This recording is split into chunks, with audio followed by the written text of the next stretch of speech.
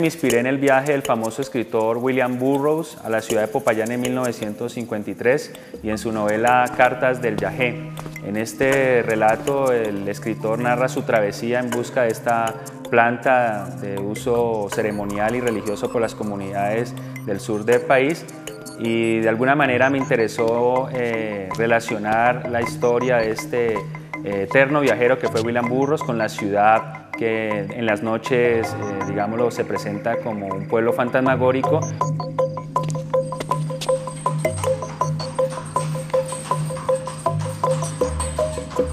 Lográramos aprovechar la riqueza arquitectónica que brinda el centro histórico de Popayán para narrar una historia de misterio, fantasía, ambientada en 1953.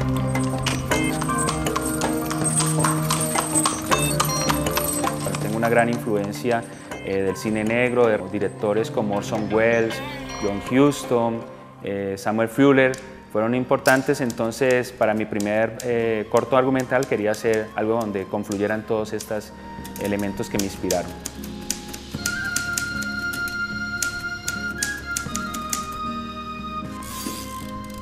Colombia vive un momento importante en la realización cinematográfica y audiovisual y eso de alguna manera es eh, motivo para que todos los realizadores independientes o directores de cinematografía puedan realizar sus proyectos.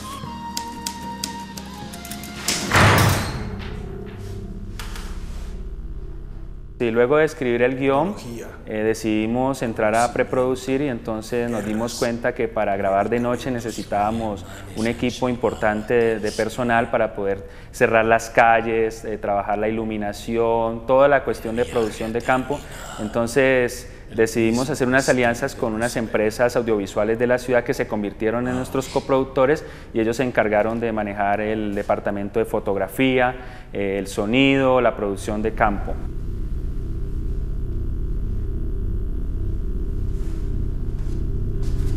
De esa manera pudimos eh, empezar eh, nuestro proyecto ya en el campo de preproducción y también de alguna manera diseñamos un modelo alternativo en el que vinculamos no solo empresas del sector privado manejando la premisa de Popayán, una ciudad de películas, es decir, que el corto eh, se iba a prestar para promocionar a Popayán como una excelente locación cinematográfica, un destino turístico cultural,